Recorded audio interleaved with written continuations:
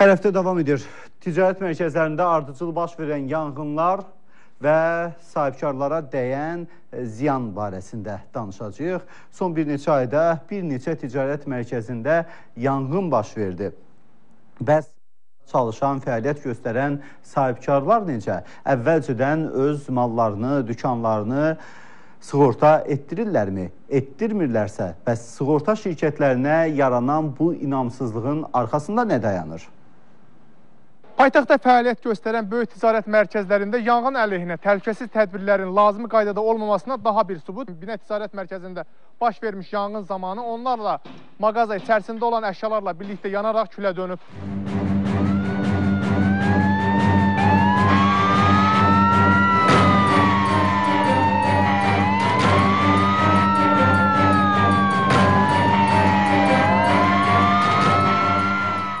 Həftənin ən səs-küylü hadisələrindən oldu. Paytaxtın Qaradağ rayonunda yerləşən Binə Ticarət Mərkəzinin yanması. Yandı və onlarla sahibkar zərər gördü. Bununla bağlı az sonra danışacağım. İndi isə keçək bu ilin mart ayında paytaxtın ən məşhur ticarət mərkəzlərindən biri olan Diqlat Ticarət Mərkəzinin tamamilə yanaraq külə dönməsinə. Bu ilin əvvəli Nizami rayonunda, həftənin əvvəli isə Qaradağ rayonunda fəaliyyət göstərən iri ticarət mərkəzində güclü yanğın hadisəsi baş verdi. Yanğın hadisəsi zamanı ticarət mərkəzlərində fəaliyyət göstərən onlarla sahibkara xeyli miqdarda ziyan dəydi. Baş vermiş yanğın hadisələrinin səbəbləri də məlum oldu. Ancaq təəssüflər olsun, sahibkarlar öz obyektlərini sığorta etdirmədiyi üçün dəymiş ziyanın ödənilməsi mümkün olmadı. Bəs nədən paytaxtda fəaliyyət göstərən iri ticarət mərkəzlərini sığorta şirkətləri sığortalamaqda maraqlı deyirlər? Bu yanğın hadisəsini yeri xatırlatmıram. Çünki bu hadisədən sonra aidiyyəti qurumlar dərhal hərəkətə keçərək paytaxtda iri və kiçik həcmli bu tipli obyektlərdə araşdırma apardılar və məlum oldu ki, elə illərdir bu sadalanan ticarət mərkəzləri, bazarlar, yaşayış obyektləri yanğın təhlükəsizliyi normalarına riayət etmədən fəaliyyət göstərirlərmiş. Araşdırmalardan sonra xəbərdarlıq alan da oldu, cərimə olunanda. Hər hansı bir təhlükə yaransa kimə zərər dəyəcək? Sözsüz ki, sahibkara da dəyir, işçilərə də, icraçılara. Siz bunu özünüz maraqlı deyirsiniz, yoxsa baş verə bilər? Hər an yanğın ola bilər. Yox, burada indi başqa cür olmalıdır. Səhvlər ola bilər. Bunlar da yəqin ki, tədbir görərik. Hazırda paytaxtda onlarla belə ticarət mərkəzi və ya bazar var ki, yanğın ya da hər hansı fövqəladə hal baş verərsə, zərər görmüş bu tipli obyektlərdə olduğu kimi burada da problemlər yaşanacaq. Hər kəsə məlumdur ki, belə hadisələr zamanı ən çox zərər çəkən də bu obyektlərdə çalışan sahibkarlar olur. Valla mal bilmirəm. Milyondan hardasa milyon, milyondan yuxarı. Nə bilim. 100 minə yaxın maldır. Ən balaca elə burada bizim maldır, deyən 100 minə yaxın maldır. Nə malları var? Hansı mağaza? Kaç çamadan, kaçlı. Yəni elektrik təhlükəsindən tutmuş, e, qaz təhlükəsindən tutmuş, e, yerin e, belə deyək, e, hə, hə, həmən yerdə potensial bütün təhlükə riskləri nəzərə alınmaqla e, təhlükəsizlik qaydalarına e, riayət etməklə e, təhlükəsizlik təmin edilməlidir. Yəni obyektdə e, içəridə olan obyektdə e, içəridə e, belə deyək, işləyən obyektlərin demək olar ki, hamısında işləyən işçilər elektrik e, ümumiyyətlə təhlükəsizliklə bağlı olan ilkin təlimatlara e, əməl etməlidir. Yəni onların ilkin olaraq bu təhlükəsizlik qaydalarından məlumatı olmalıdır. E, siz təsəvvür edin, e, demək olar ki, bu cür e, e, bu cür yerlərdə işdən sonra hətta işçilər gedərkən də elektrik təhlükəsizlik qaydalarına riayət eləmirlər. Yəni bəzən olur ki, e, elektrik avadanlarını yanlı qoyurlar. Qarşıdan qış gəlir, səhər gələndə otaq isti olsun deyə yanlı qoyub gedirlər. Siz təsəvvür edin ki, bu da ki, yanğın təhlükəsini qaçılmaz edir. Təhlükəsizlik üzrə ekspert Elmar Nuraliyev deyir ki, bu kimi obyektlərdə yanğın təhlükəsizliyinə kompleks şəkildə riayət olunmalıdır. Əsasən də bazar və ticarət mərkəzləri tikilərkən onların elektrik naqillərinin çəkiş və istismar edilməsinə güclü nəzarət olunmalıdır. Belə obyektlərin bəzilərinin mərkəzləşdirilmiş soyutma və isitmə sisteminin olmaması balaca qığılcımı bəzən böyük yanğına çevirə bilir deyə ekspert qeyd edir. E, e, yanğın təhlükəsizliyi üzrə belə deyək bir e, mühəndis olur, mütəxəssis olur. Yəni həmin mütəxəssisin vəzifə borcu nədən ibarətdir?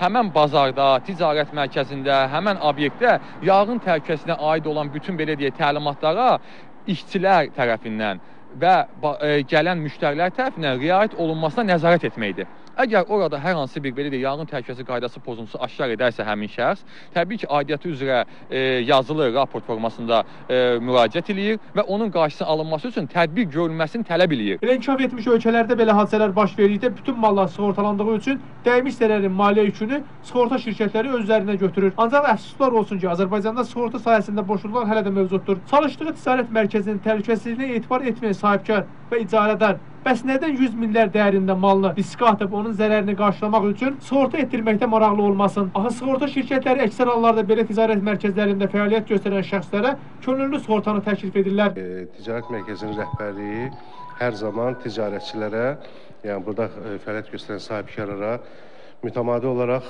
e, xəbərdarlıq veririk. Xəbərdarlıq verilir ki, yəni bu e, ticarət obyektlərinin e, sığortalaması ilə, malların sığortası ilə bağlı, yəni onların obyektlərində mallar özləri şəxsi mallar olduğu üçün sığortalanması barədə biz hər dəfə xəbərdarlıq veririk bütün sahibkarlara. Bu ticarət mərkəzlərində, böyük ticarət mərkəzlərində dəfələrlə belə yanğınlar baş verir.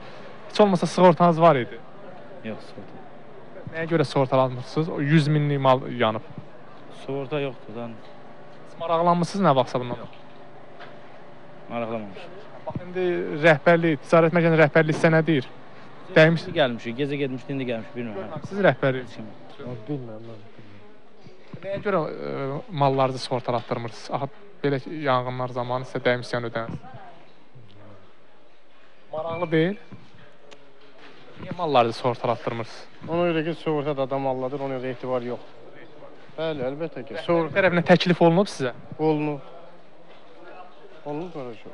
Onda heç kim elətdirmir. Yəni o etibar yoxdur, alladıcıda ona görə də heç kim eləmir. Valla səbəb inan- inamsızlıqdır. Yəni sığorta şirkətlərinə. Nəyə görə? Necə inamsızlıq? İnamsızlıq yarananda vaxtı vaxtında gəlmirlər, süründürürlər. Burada olar da bir 10 minə yaxın. Sığortanız var? Yox, sığortamız yoxdur. Nəyə görə? Yəni qardaş da elə o səbəblərə görə inanmırıq. İncidirlər. Uşaqlar var, indi malları yananlar var idi e, şeydə, Diglasda. Onlar da elə dedilər ki, sığorta olsa da belə heç kimin incitdilər, yəni pullarını vermədilər. Hətta sığortası olan belə sığortasını ala bilmədi, sığorta pulunu. Bəli. Həqiqətən ölkədə sığorta şirkətlərinə vətəndaşlar etibar etmirlər, yoxsa problem elə sığorta şirkətlərinin özündən qaynaqlanır. Sığorta üzrə ekspert Ceyhun Əsgərov deyir ki, istənilən obyektin daşınan və daşınmaz əmlakın sığortalanmasında ona keçirilən baxış zamanı sığorta şirkəti əmlakda hər hansı bir risk görürsə, onu sığortalamaqdan imtina etmək məcburiyyətində qalır. Əsasən burada mən deyərdim ki, yanğın təhlükəsiz qaydaları demək olar ki, heç birində əməl olunmur. Əksəriyyəti yüngül konstruksiyadan tikilmiş obyektlərdir ki, burada vacibdir ara kəsmələr ə, daşdan olmalıdır.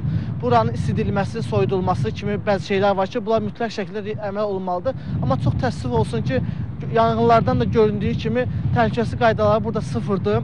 Ara kəsmələr yanğına meyilli materiallardan istifadə olunur.